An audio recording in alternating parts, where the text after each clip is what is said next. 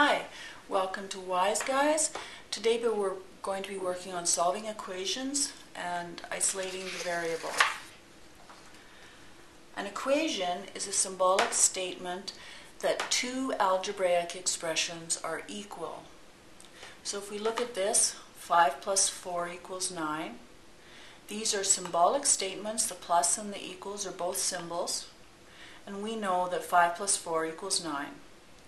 So this is not quite an algebraic expression, but it is an expression that is equal. The same with 6 times 7 equals 42.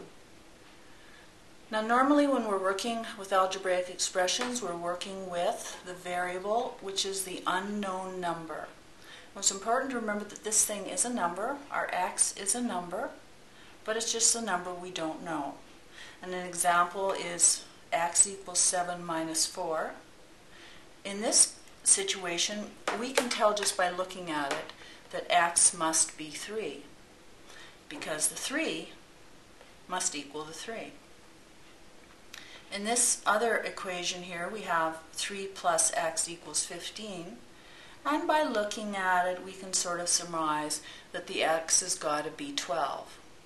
But how do we solve something that's more complicated than this, that we can't just look at to solve? And that's what we're going to be talking about in this video.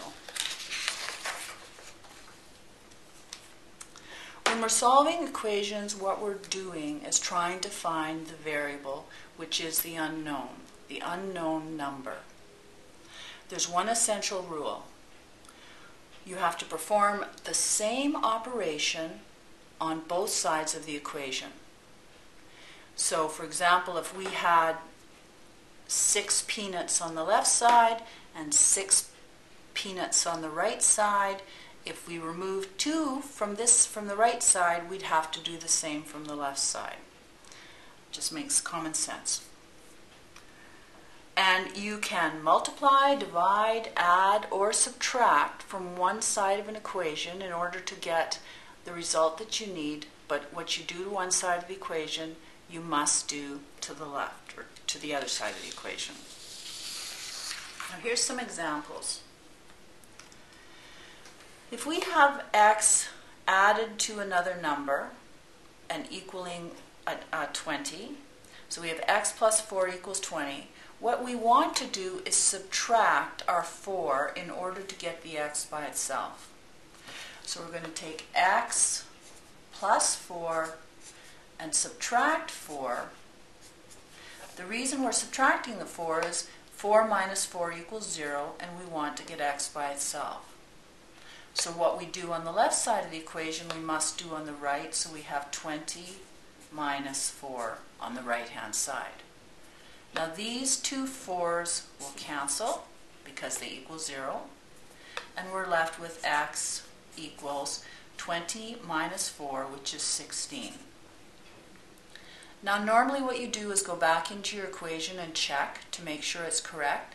So we've solved for x equals, uh, that x equals 16.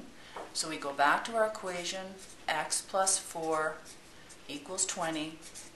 We put our 16 in for our x, so we have 16 plus 4 equals 20, and that is correct, so we know 16 is the correct answer. Now we have an equation of x minus 4 equals 20. We have a negative 4 here, so what we would do to get rid of this minus 4 is add a 4. So x minus 4 plus 4. If we add a 4 to the left side, we must add a 4 to the right side. 20 plus 4. It's, and it helps to just take these steps, to slow it down a little bit, take these steps, add the 4, say, oh yeah, these are going to be 0, add the 4 on the right side, then cross out here and rewrite x equals 20 plus 4, which is 24. Now again, we're going to take what we know, plug it back into the original equation, and see if it works. x minus 4 equals 20.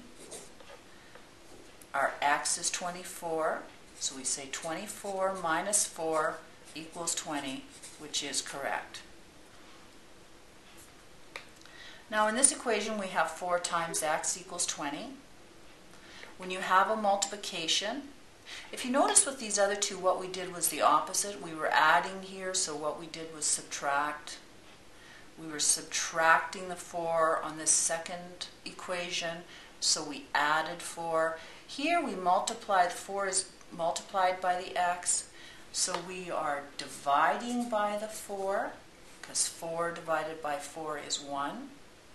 What we do on the left, we do on the right. So we divide by 4 here. These two cancel, again because 4 divided by 4 is 1, and 1 times x is just x. And we're left with x equals 20 over 4, which is 5. Now we plug our 5 back into the original equation. 4x equals 20. So that means 4 times 5. And 4 times 5 does equal 20, so our answer is correct. For our last equation, we have x divided by 4. It's divided, so the opposite of that is multiplication. What we're going to do is multiply by 4 on the left side. And the reason we're doing that is because 4 divided by 4 is 1. So that'll get rid of the 4 in the denominator. If we multiply by 4 on the left side, we must multiply by 4 on the right side. These two 4's cancel, and we're left with x equals 20 times 4, which equals 80. Now we go back to our original equation again and just check. We perform a check, so we have x divided by 4 equals 20. Our x again is 80, so 80 divided by 4, and that does indeed equal 20, so we know we're correct.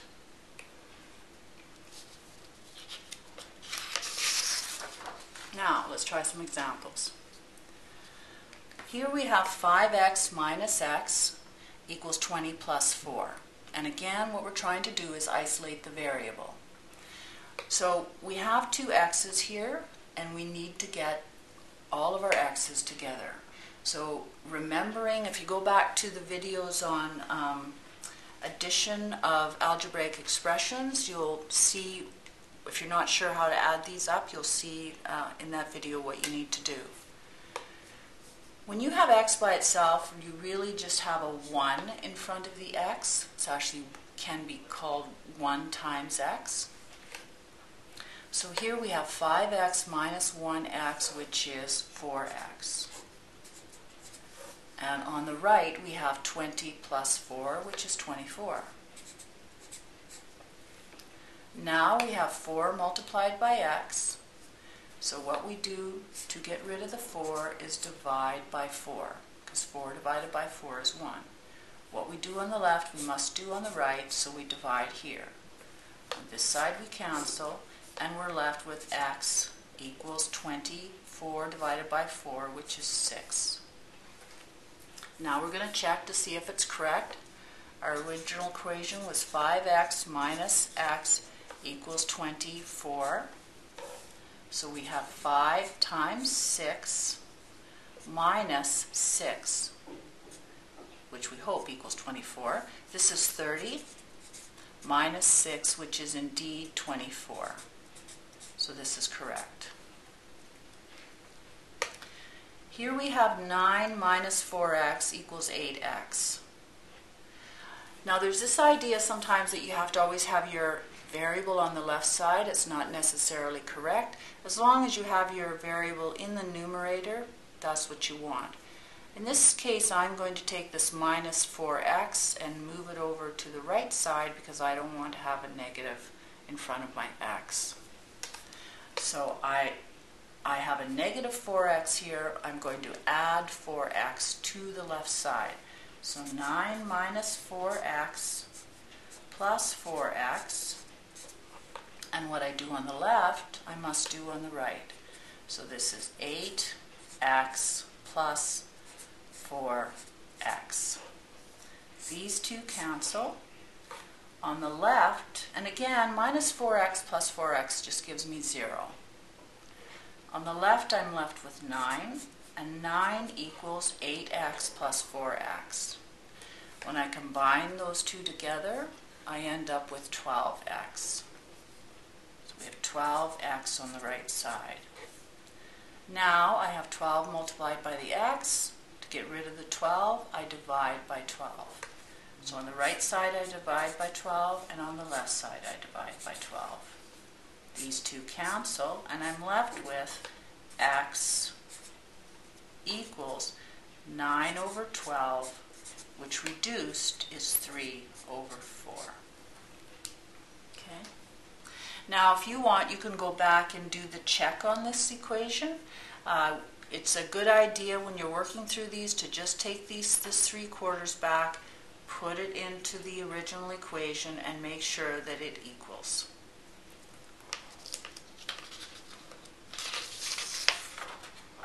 This next question.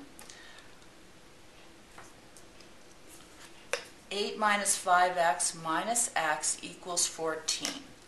And in this case, we're going to add together our minus 5x and our minus x. Again, there's a 1 in front of that x. So that's the first thing I'm going to deal with. I'm not going to worry about anything else right now. So this is 8 minus, the minus 5 and the minus 1 give me minus 6. So we have minus 6x equals 14.